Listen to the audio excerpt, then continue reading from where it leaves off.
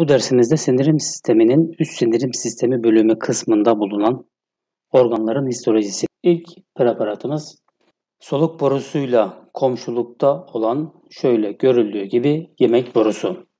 Büyütülen kısım organın lümeni. Lümeni çevreleyen, şöyle astarlayan, dalgalı bir şekilde görünen şu doku, epitel dokusu.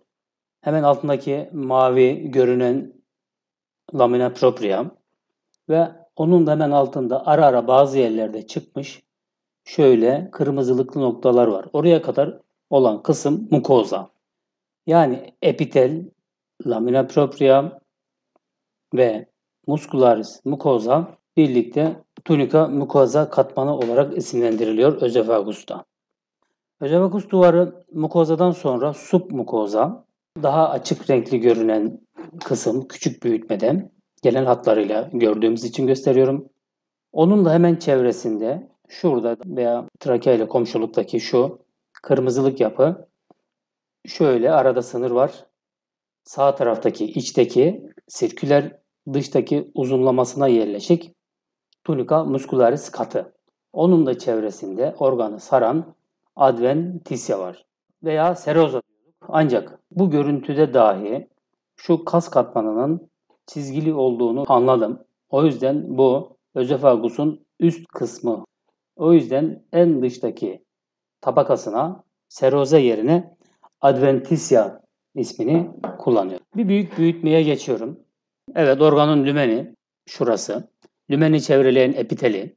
Görüldüğü gibi epitel non keratinize çok katlı yatısı epitel kemirici hayvanlara ait olduğu için bu preparat şöyle az da olsa keratinize gösteren yerler bulunabilir. Ancak insanda non keratinize çok katlı yassı epiteldir. Epitelin altındaki şu mavi olan kısım lamina propria şu kırmızıyla bazı yerlerde görülmüş muscularis mucosadır. Muscularis mucosa özefagusta sadece uzunlamasına seyirle düz kaslardan oluşmaktadır. Özefagusun her yerinde görülmez, alt tarafa yaklaştıkça görülür. Muhtemelen bu da oralara benziyor biraz. Çünkü görünmeye başlamış. Ee, ve altta şurada daha açık renkli görünen fibroelastik bir bağ doku olan aynı zamanda submukoza. Ve fibroelastik yapıdan oluştuğu için bu duvar yapısında katlantılara yol açıyor. Görüldüğü gibi mukozal katlantılar oluşuyor.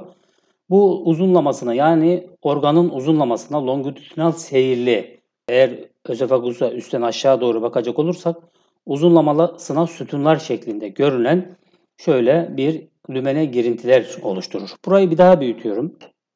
Evet şöyle bir mukozal uzunlamasına katlantı kısmı. Şurası epiteli. Hemen lümeni çevreleyen epitel. Bakın şöyle girinti yapmış çıkıntı. Hemen altında şu mavi olan kısım lamina propria gevşek bağ dokusu yapısında. Şöyle bakıyorum. Bazı yerlerden muskularis katmanı da görüyorum. Şuralar, şunlar. Her yerde çıkmamış. Demek ki yeni başlıyor. Buraya kadar olan şu kısım şöyle epitelden başlıyorum. Şuradaki muskularis mukozaya kadar olan kısım tunika mukoza. Hemen altına iniyorum. Fibroelastik bağ doku. Burada bağ dokudaki damarları bağ doku elemanlarında görmek mümkündür. Görüldüğü gibi submukoza katmanındayız. Hemen onun da dışında şöyle görüldüğü gibi muscularis katmanı yani tunica muscularis veya muscularis externa. Biraz ayrışma fazla olmuş görüldüğü gibi. Şurası içteki sirküler kas katmanı, dıştaki uzunlamasına kas katmanı.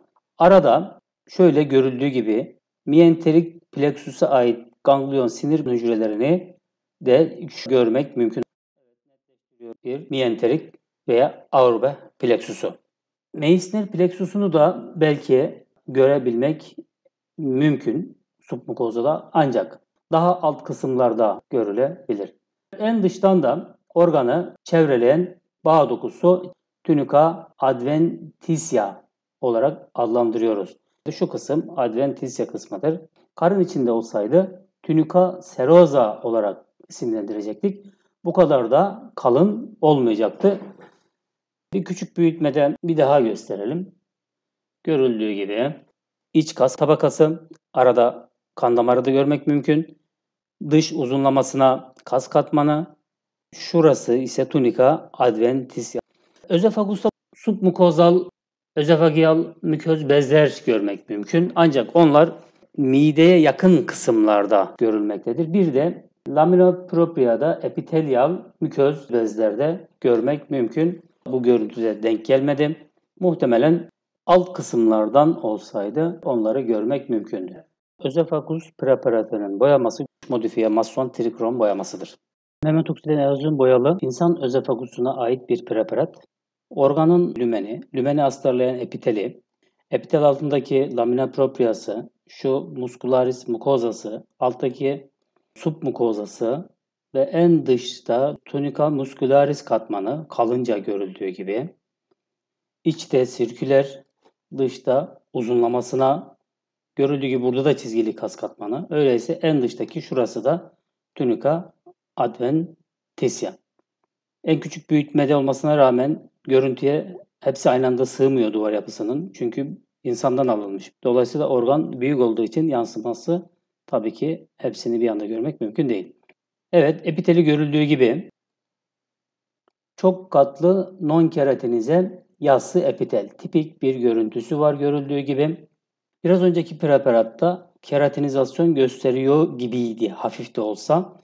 Çünkü kemiricilere aitti, kemirici hayvanlara ama insanda görüldüğü gibi non-keratinize çok katlı yassı epitel. Lümen, lümeni hemen döşeyen non-keratinize çok katlı yassı epitel. Aşağıya doğru iniyorum. Evet epitelin bazal katmanı, şuradaki bazal sıradaki hücreler. Stratum bazale dediğimiz. Hemen altta görüldüğü gibi şöyle yoğun bir vaskülarizasyon da görülüyor. Lamina propria. Onun altında bakın sadece uzunlamasına kaslardan oluşuyor. Görüldüğü gibi eline geçmiş düz kas dokusu görüntüsü var. Onun altından evet buraya kadar olan kısım tunika mukoza. Şimdi muscularis mukozanın hemen altına iniyoruz. Şurası Tunika submukozadaki fibroelastik bağ doku. Aşağı doğru iniyorum.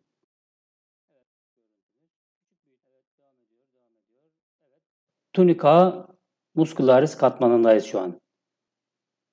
Şurası sirküler seyirli kas katmanı içteki.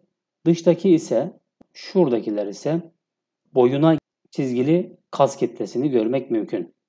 En dıştan da şöyle görüldüğü gibi tunika adventitia. Çünkü karın içi kısım değil. Bu kısım diyafragmadan üst tarafta olan kısım. Buradaki çevre bağ dokuyu görüyoruz. Özefakus'tan anlatacaklarımız bu kadar. Görüşmek üzere.